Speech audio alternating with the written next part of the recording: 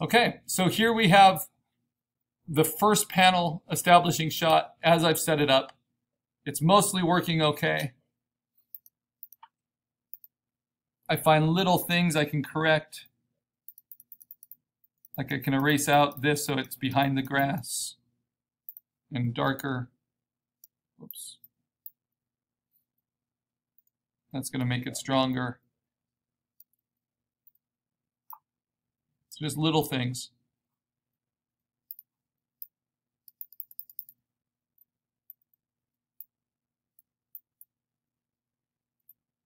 But let's say that, that that works. Now I need to move on to my next panel. How do I introduce the character? Well, I'm thinking it's going to be this one.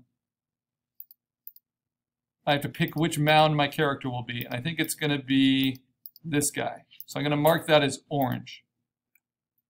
And then his reflection is actually this one, so I'm going to mark that as red. But I think his reflection is just going to stay.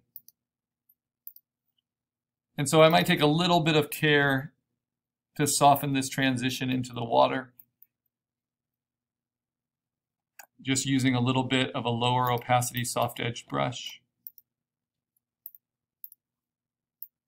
And just ghost it a little bit so it feels like in the water a little bit more.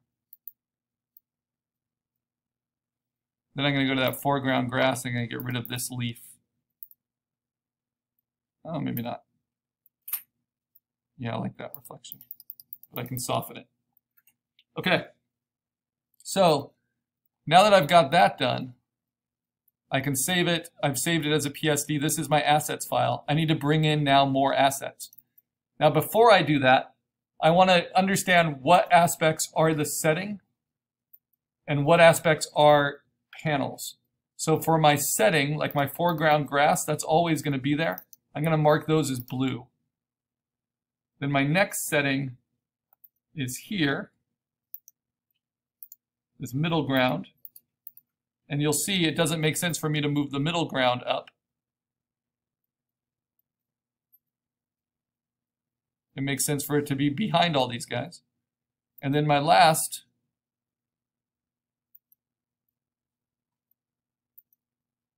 yeah, there we go, is the background. And I don't know if I'll need to actually put anything in the sky. Oh, I, I do need to. I'll need to put storm clouds and stuff in the sky later. So those will fit between my background and my middle ground. Because that will take up the sky and these background trees. So I'll show you what I mean by that just really quickly. Let's say I bring in an asset from, let's see, from assignment four. I bring in these storm clouds right between these layers, right? They don't look like storm clouds yet. Just you wait. I'll make them into storm clouds.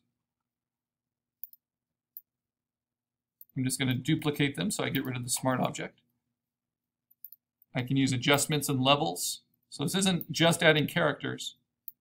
You can also, whoops, wrong layer. You can also add texture overlays. all kinds of things that as assets that you animate with later.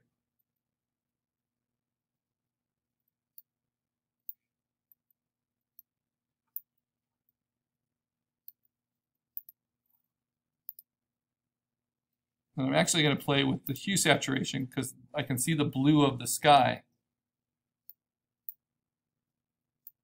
that I'm working with. And it has more cyan in it.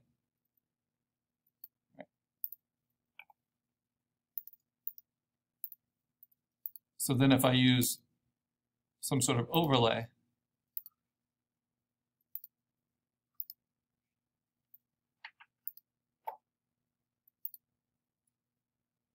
I can start to, to show how it's going to darken and change over time. Ooh, I like that even more. All right. And then that shows me for my, for my middle ground, I can use my magic wand, select all of these blues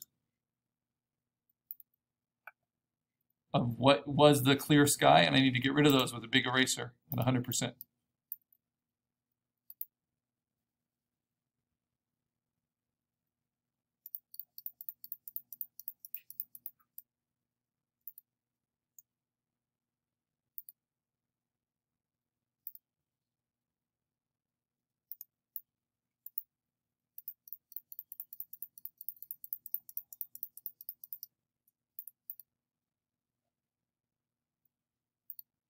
And then just use the regular eraser and kind of bite away at them where these edges are too hard. This is quick and dirty, but it works. So check out how this asset will work of these storm clouds. I can simply play with the opacity, right, and change the weather in this scene.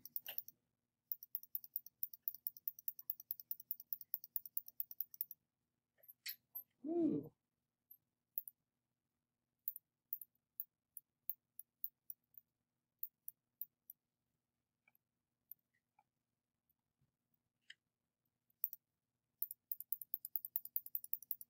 And I'm already setting that up a little bit.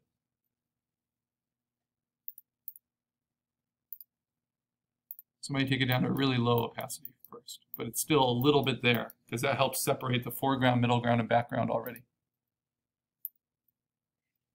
Okay, now, warp it a little too. There we go. Okay, now I've got that, that scene. Now I need to build the assets for introducing my character. So I have my base character. I have the head.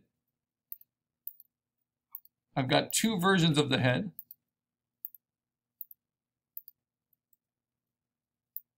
I'm move that out. So I think I'm going to take this head copy layer and I'm going to move that in as an asset. But I'm also going to hold down command and grab the hero body as well and move those over. Okay, move those both up to the top See how big they are right underneath the background. And then use Command T and shrink them down to roughly be the size of my guy.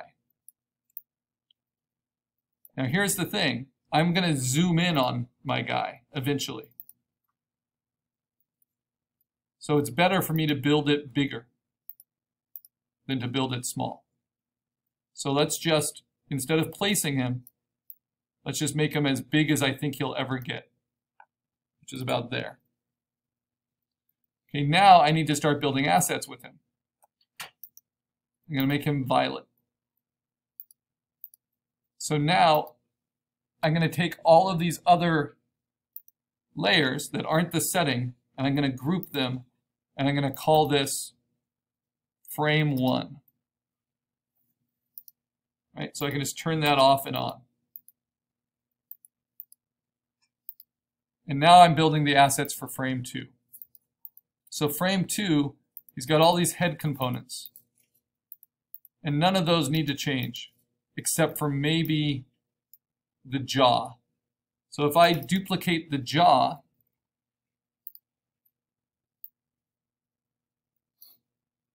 let's move that out of the group.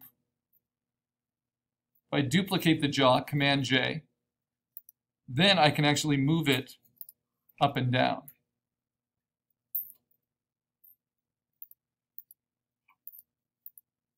Why am I not seeing it? Oh, it's because it's, there we go. So what do I mean by that?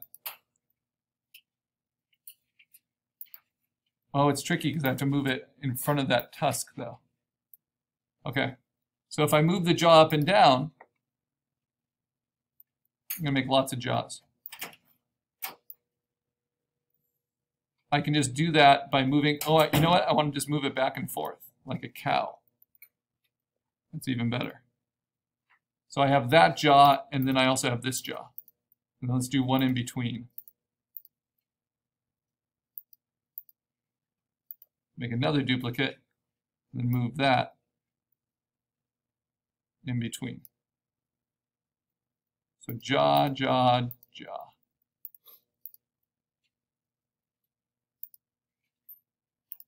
Here it is. I'll do one that's way off.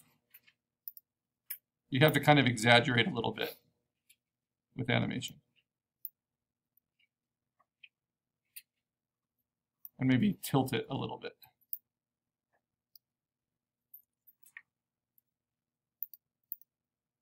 The others I can merge together by selecting them and hitting Command E. but I need the tusks behind the jaw. And I need the jaw on top of the tusks and underneath the rest of the head. So this is how little puppetry works.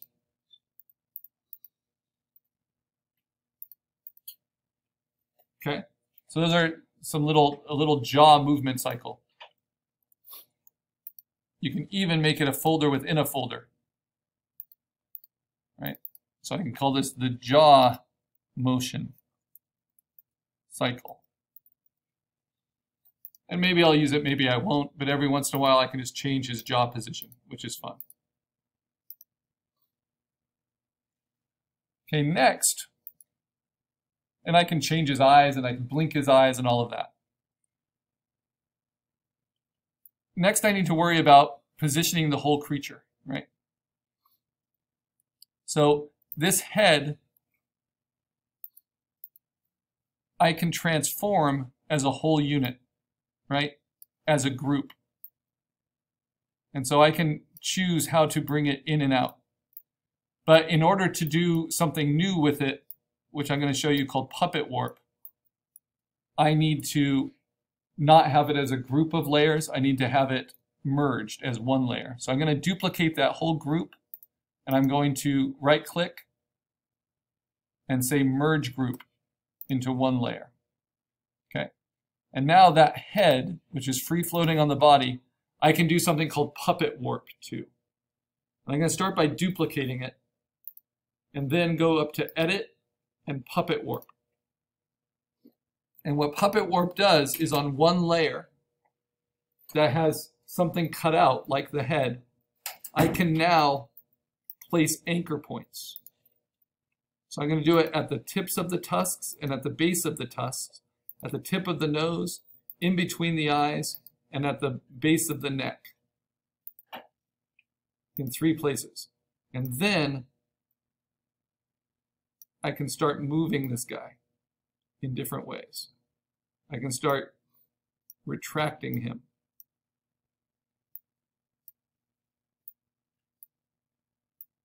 And kind of folding him back.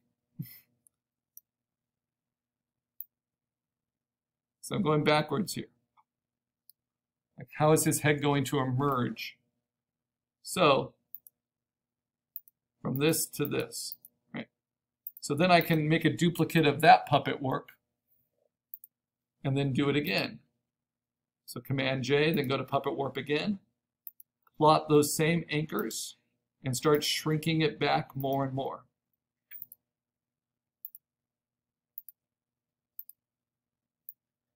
Now you need to plot the anchors, otherwise the whole thing just changes and you can't control it. They're like all pivots on one source. And you can always plot more anchors if you need to.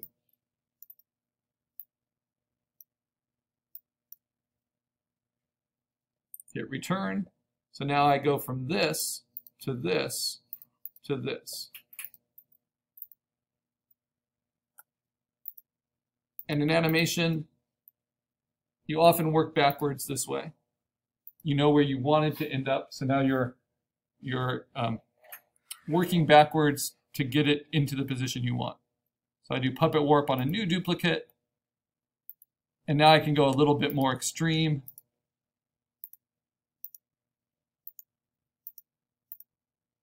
Because I know it's going to end in the right place, so I can really shrink back this head. And these tusks. Kind of tilt it lower.